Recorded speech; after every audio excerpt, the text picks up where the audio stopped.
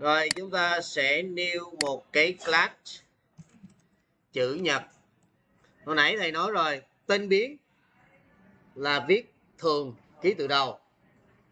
Tên lớp, tên phương thức là viết hoa, ký từ đầu. Luật bất thành văn.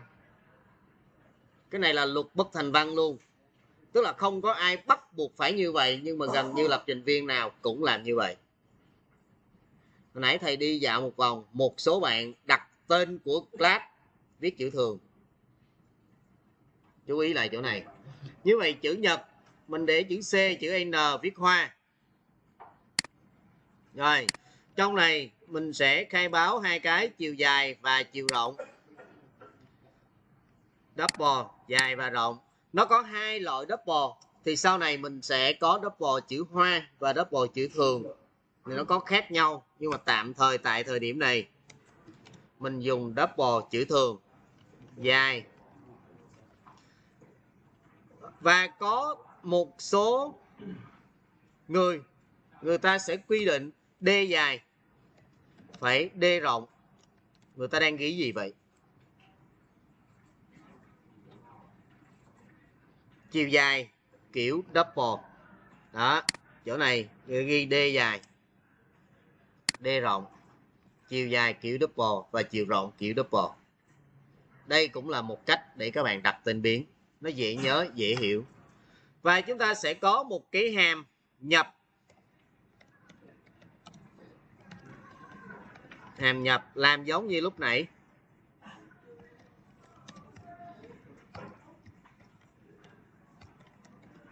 Chiều dài chỗ này mình sẽ thiếu là void thiếu scan.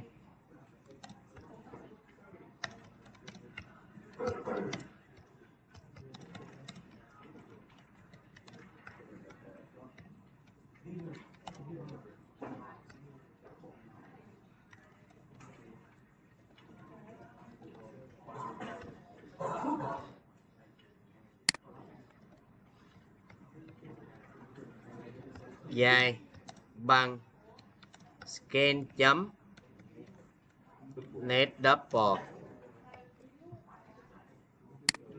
và các bạn à, lúc nãy có một số bạn ví dụ các bạn viết chỗ này chiều rộng.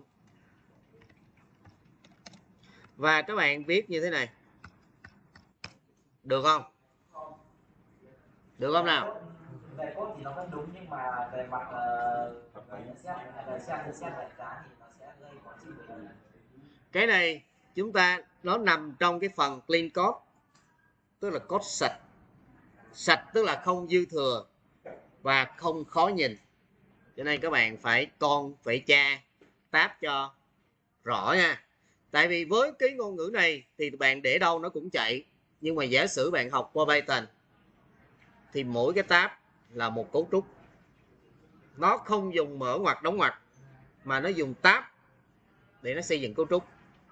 Cho nên là các bạn làm cho nó quen. Mình đã có nhập rồi. Mình đã có xuất. À, chúng ta sẽ dùng cái uh, hàm toString đây là một dạng của xuất. Các bạn sẽ làm quen lần dần với cái này thầy sử dụng cái phương thức, gọi là phương thức toString hiện nay nó để là super toString tí nữa thầy sẽ chạy cho các bạn thấy vấn đề của nó ha. Và ở đây chúng ta sẽ có hàm xuất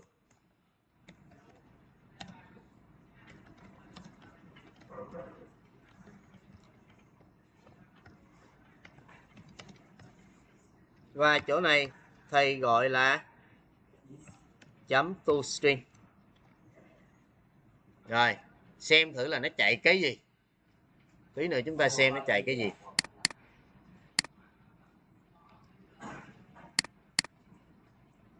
Rồi ở đây chúng ta sẽ khai báo cái lớp chữ nhật à, cn bằng new chữ nhật chấm phẩy. Chữ nhật chấm. Nhập. Chữ nhật chấm xuất. Rồi, chạy chương trình. Chiều dài 8 chiều rộng 6 và ở đây nó xuất nè to string nè. Nó có một cái phương thức là to string nhưng mà hiện nay cái tool string này, nó đang viết là nó cho mình in ra cái địa chỉ của class. Chứ không phải là cái mình cần. Và cái mình cần ở chỗ này, mình có thể viết lại cái hàm tool string bằng cách là override chỗ này. Tool string và mình viết lại chỗ này, tool string ví dụ, mình để dài cộng this chấm dài cộng xuyệt t rộng hai chấm cộng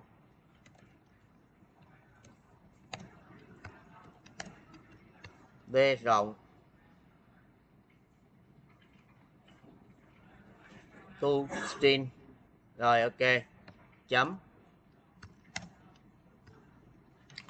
À, cái dài và rộng này hiện nay nó đang là kiểu double thì nó không thể cộng vô đây. Thì chúng ta sẽ dùng string chấm value of dài. String chấm value of rộng. Ép kiểu nó qua. Rồi vẫn chưa được là sao? À rồi phí dấu cộng rồi, như vậy chúng ta chạy lại ở bên kia. Dài 8 rộng 6 chúng ta có chiều dài 8 chiều rộng 6 và chúng ta đã sử dụng phương thức là to string dài cộng rộng xuyệt t.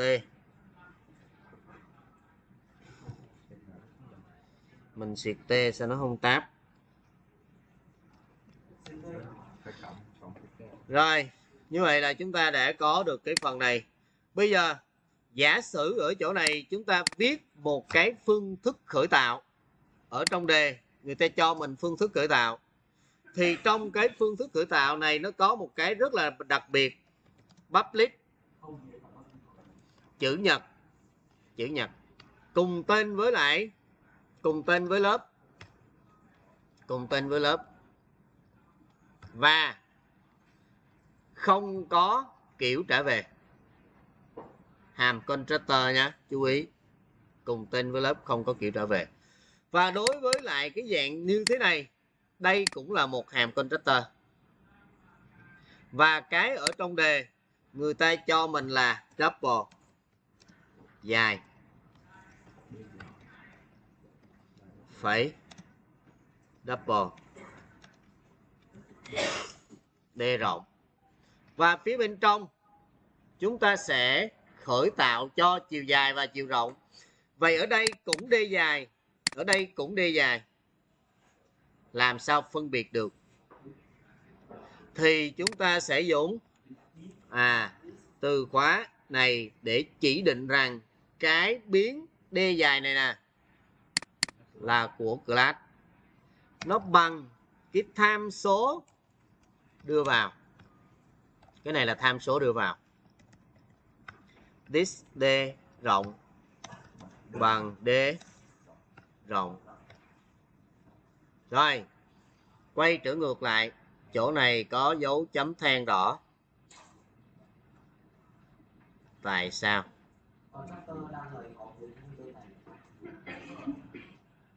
Nhưng mà tại sao lúc nãy mình không viết cái này thì nó không lỗi? Nó nó vẫn đang như này nó vẫn đang làm làm là một con chapter không biến và con chapter không biến đó vào với tất cả. Sau khi qua bên này gọi nó vẫn có.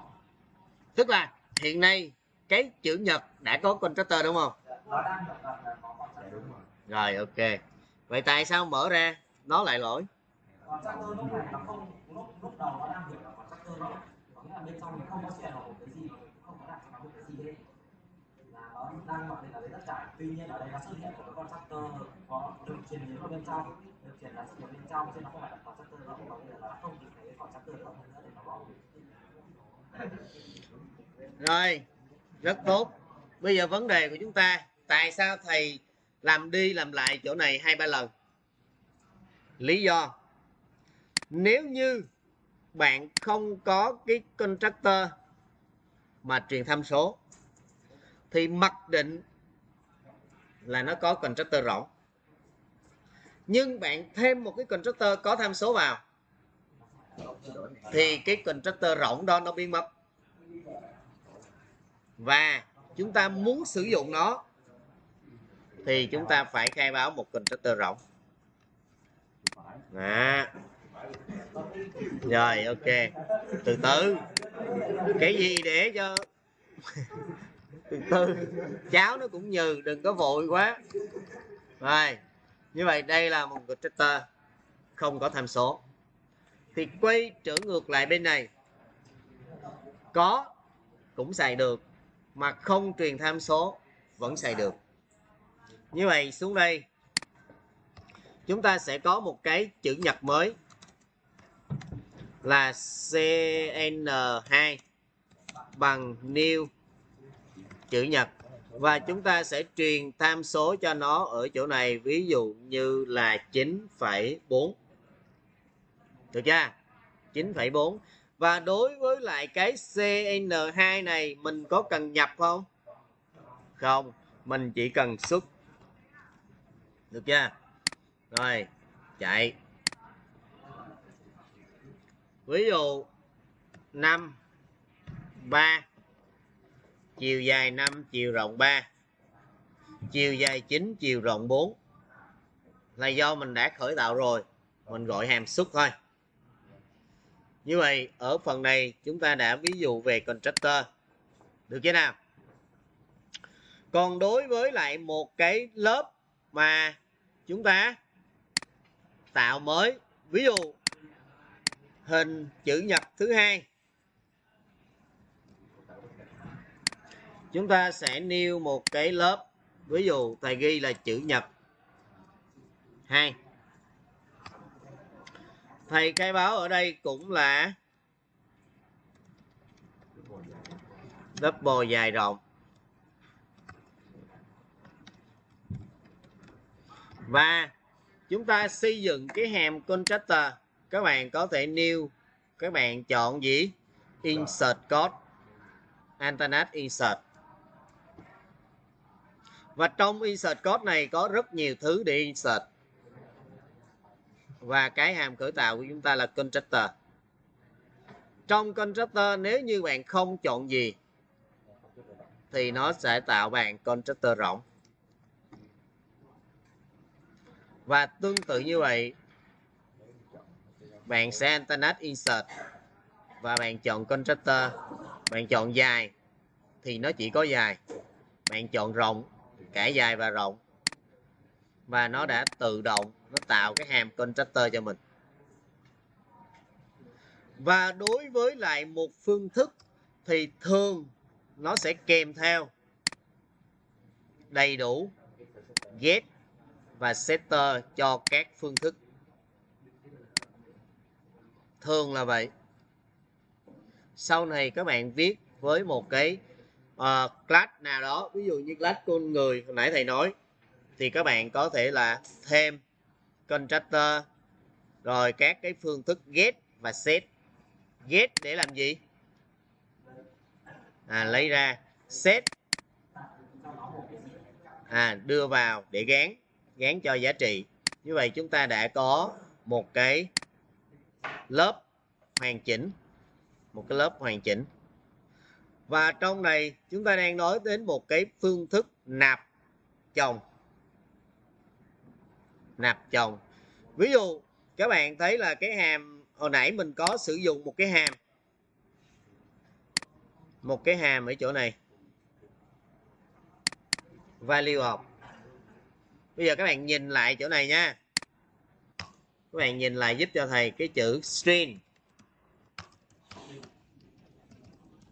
Chấm value of.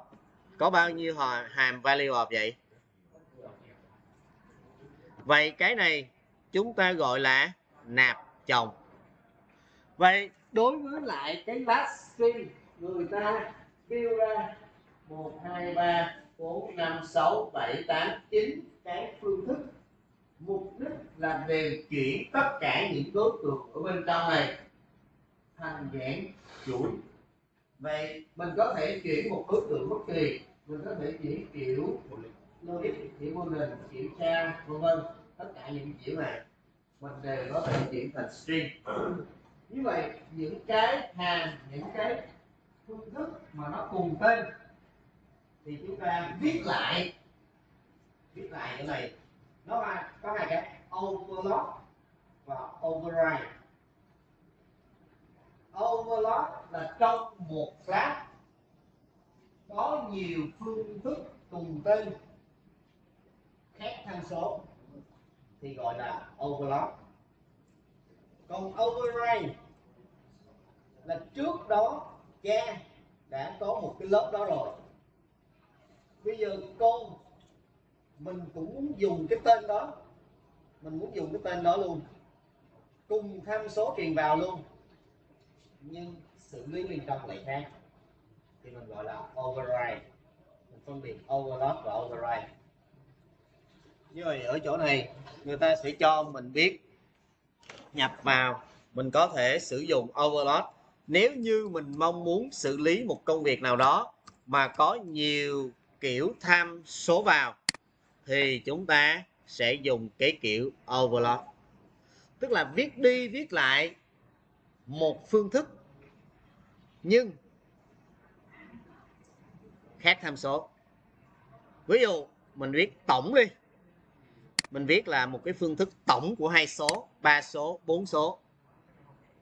Như vậy cũng là tổng, nhưng mỗi cái tổng nó một khác. Ví dụ chỗ này, chúng ta sẽ viết một cái lát là tổng. Rồi trong này mình sẽ viết public in tổng của hai số. In à, năm một phẩy in năm hai. Return n1 cộng n2 rồi bây giờ ở chỗ này mình cũng viết lại in tổng. Nếu như mình viết như thế này, thì nó sẽ báo lỗi. Rồi, mình có chấm phẩy luôn. Có return luôn. Return một con số đi. Rồi, hết lỗi. Nhưng nếu trong trường hợp bạn đẩy hai cái tham số này vô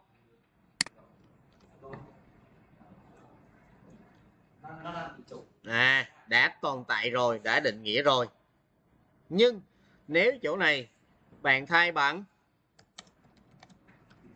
N3 không lỗi nữa.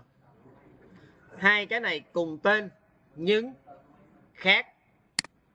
Tham số truyền vào thì không còn lỗi nữa. Và tương tự, chúng ta có thể định nghĩa rất là nhiều phương thức cùng tên cùng kiểu trả về. Chỉ cần khác tham số. Như vậy hỏi là khi nào thì mình dùng đến overload thì khi nào mình cần mình khai báo thôi chứ giờ biết khi nào giờ. Ví dụ, đối với sinh viên, giả sử đối với lại sinh viên đi, con người đi, mình sẽ làm một cái hàm nhập. Ví dụ như là hồi nãy cái hình chữ nhật nè, ok. Ví dụ hình chữ nhật chữ nhật 2 mình có một cái hàm khởi tạo. Chữ nhật 2 giả sử thầy viết như vậy, nó trùng, nhưng thầy bỏ đi một cái. Ok không? Và trong này chiều rộng cũng bằng d dài luôn. Có nghĩa rằng là mình đang viết gì đây? Hình vuông và bản thân cái này cũng là overlap mặc dù nó là contractor. Một cái contractor mình đưa vào cả hai cạnh. Một cái contractor mình đưa vào chỉ một cạnh thôi, thì nó trở thành hình vuông. Rồi, bên này mình sẽ sử dụng chữ nhật 2 chữ nhật 2 bằng chữ nhật 2 ok, chữ nhật 2 chưa có xuất phải không? Ok, chữ nhật 2 chưa có xuất mình lấy cái chữ nhật này mình copy qua.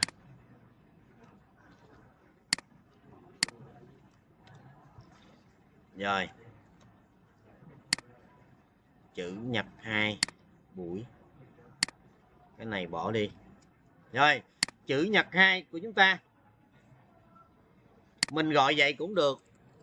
Mình gọi có một số thôi cũng được. Đó. Như vậy thì lúc các bạn nêu chỗ này nè, nó sẽ cho mình hai cái chữ nhật hai. Đây. À ba cái. Một cái là không tham số, một cái là một tham số, một cái là hai tham số. Mình muốn xài cái nào đó, xài. Ví dụ mình xài một tham số 5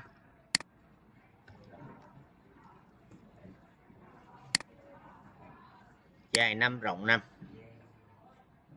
được chưa? Đó là overload.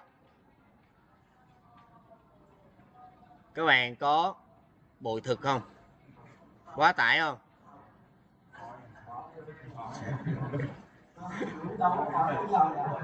À, nhìn ở bên này nè. Nhìn ở bên này nha. Số lượng slide của mình là 43 mình, mình mới đi có 14 à cho nên buổi sau mình sẽ tranh thủ đi nhanh hơn. Được chưa? Chỗ này là cái mà rất là thú vị nè.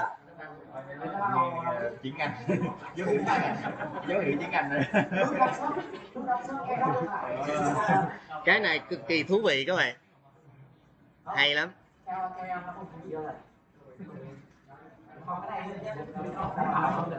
Em làm vậy chỉ tiếng Anh rồi ok.